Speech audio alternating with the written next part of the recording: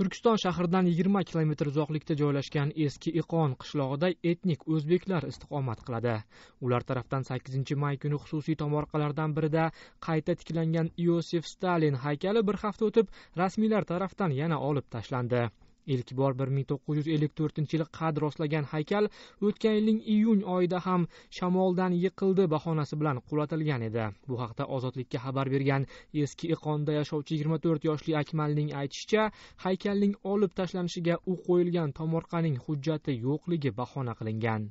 O'zi haykal oltmish yildan beri mana shu eski qon qishlog'ida turardi. Keyin e, o'tgan yili E, shamolda tunda shamolda qulab qoldi deb gap chiqardida lekin boshqa odamlar olib tashlashgan edi.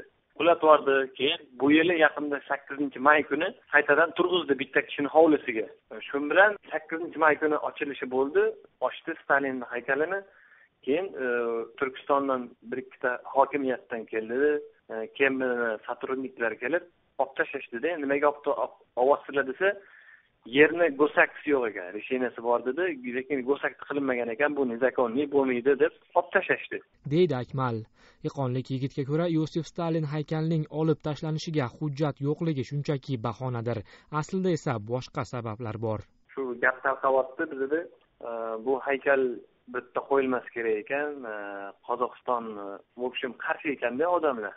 Qozog'larni stalin anaqa qilgan ekanda ocharchilikda shunaqada stalinni qo'li bo'lgan u stalin yomon ko'rar ekan короче bu yerda qozog'istonda boshqa joylarda stalinga qo'yilgan haykallar bormi yana yo faqat sizlardami yo'q faqat bizada bitta joyda bor edi. Aka bizada qishloqda eski qon degan qishloqda hammasi o'zbeklarda bitta yigirma mingga yaqin aholi bor. Bitta hammasi o'zbek. Bittayam qozoq yoki o'ris boshqa davlatdan odam yo'q bu yerda hammasi o'zbek. Lekin shu o'zbeklarni hammasi qo'llaydi buni. Hech kim qarshi emas bizada bu yerda deydi eski iqonlik akmal.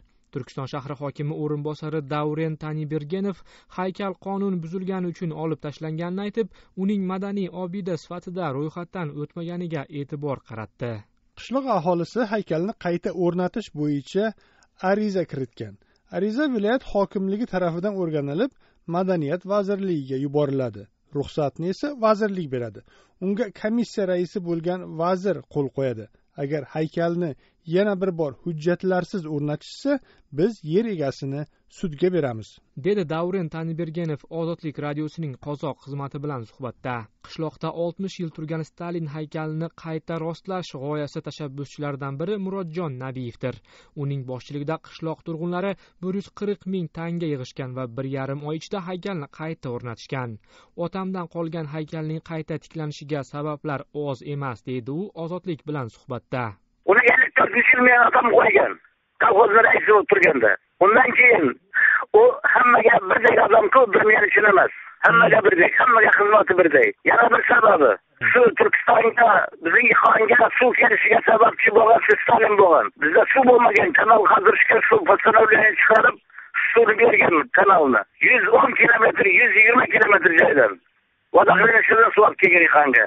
Birinchisi ikkinchisi o'ttiz yettinchi yilgacha biz qirg'iziston respublikasi bo'lganmiz o'ttiz yettinchi yili stalinning постановленияsi bilan qozog'iston respublikasi paydo bo'lgan uchinchisi uchinchisi u hech vaqtda misol uchun hech kimni ayagan emas to'g'ri odam bo'lgan dedi murodjon nabiyev suhbatdoshining aytishicha noma'lum shaxslar o'n sakkizinchi may kuni tunda rasmiylar tarafdan olib tashlangan haykalga hujum qilib uning bosh qismiga shikast yetkazgan biz aytdik ikki oy muddat beramiz dedik shungacha go'sakni berib bizga ruxsat bersalar biz qaytadan yana o'rniga qo'yamiz dedik.